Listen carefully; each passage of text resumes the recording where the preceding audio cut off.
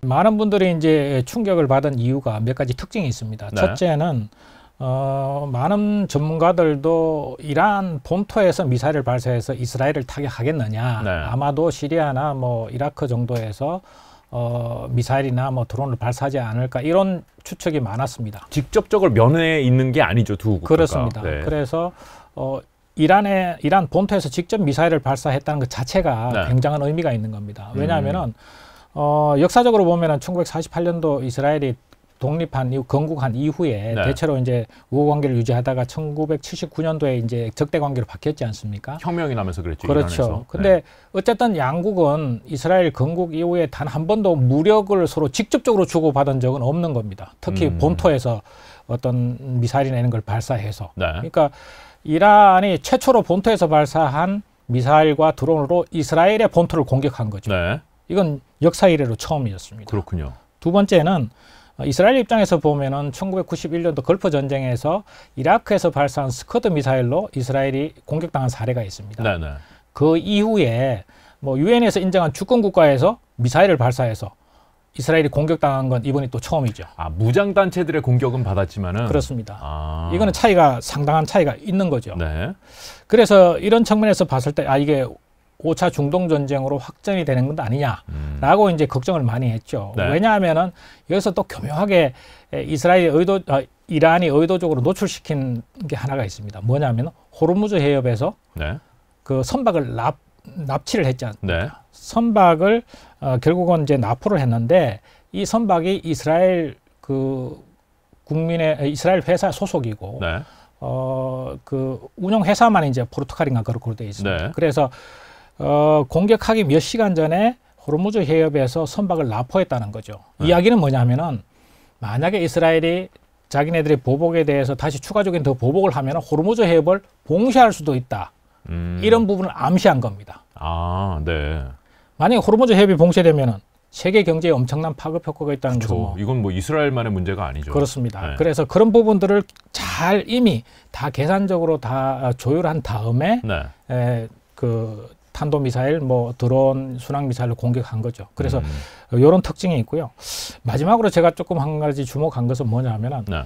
이게 에, 드론과 미사일이 날아가는 과정이 생중계됐다는 겁니다. 아, 네. 그 보이나요? 미사일은 빨라서 잘 안 보일 것 같고.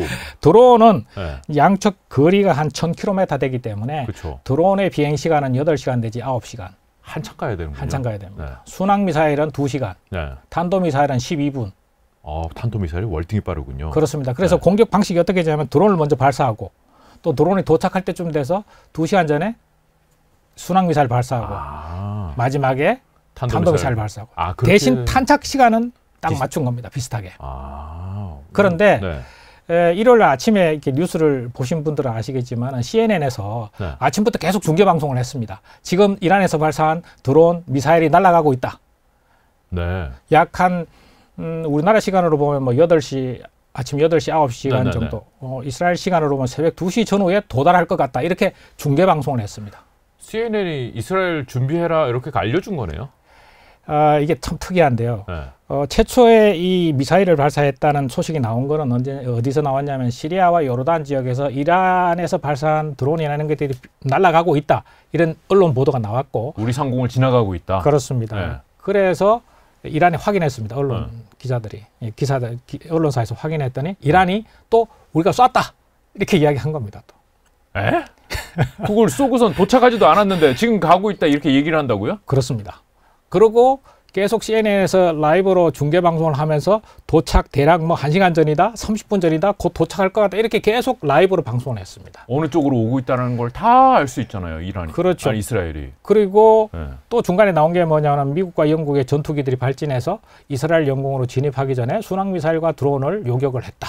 이런 기사가 나와- 상당수를 요격을 한 것 같더라고요. 그렇습니다. 그러고 나서 예루살렘 상공이나 이렇게 이스라엘 지역에 드론이 떨어졌다, 요격했다 이렇게 나온 거죠. 이런 모습들은 어, 굉장히 드문 경우입니다. 모든 공격은 기습을 전제로 하고 그렇죠. 기본인데 에, 이번 공격은 그렇게 아주 특이한 현상들이 몇 가지 있었다는 거죠. 이란이 기습을 할 의도가 없었다고 봐야 되는 건가요? 어, 수위를 조절한 거죠. 음. 원래 에, 이 보복이라는 것은 국제 헌법적으로 보면은 이제 유엔 헌장 51조 자위권에 기초합니다. 음. 자위권은 국제 관례적으로 두 가지 요건을 충족해야 됩니다. 비례성의 원칙과 필요성의 원칙. 네. 필요성의 원칙이라 하면 예를 들어서 민간인 표적을 공격하면은 그 필요성이 인정될 수 없겠죠. 뭐 군사 시설에 대한 공습하고는 좀 다르겠죠. 그렇죠. 네. 어, 군사 시설을 공격해야 된다는 거. 그게 네. 이제 필요성에 해당되는 것이고 비례성은 어, 국제적으로 봤을 때 에, 4월 1일 날 이란 영사관이 폭격을 당했지 않습니까? 네네. 그걸 봤을 때 어느 정도 어, 균형을 맞춰야 된다. 음. 어, 그런 어떤 기준으로 봤을 때 이란에서 수위를 조절한 겁니다. 그런데 만약에 에, 300여 발 이상의 드론 미사일을 쐈는데 네. 이스라엘 측에서 민간인 사상자가 음. 몇백 명이 나왔다. 좀 그러면 상황이 심각해질 것 같은데요. 그렇죠. 그렇게 되면 네. 비례성이 어그러져 버리는 거죠. 그렇죠. 그런 부분들을 염두에 두고 음. 일정 부분 서로가 정보를 주고받으면서 그 중간에 역할을 한 것이 결국은 또 미국이죠. 정보를 주고받았다고요? 이란이? 그렇죠. 우리 쏜다? 직접적으로 주고받지는 않았지만은 네. 미국이라는 강대국이 중간에서 이것이 확전이 되지 않기 위해서 조율하는 과정에서 음. 서로의 의도가 전달이 된 거죠.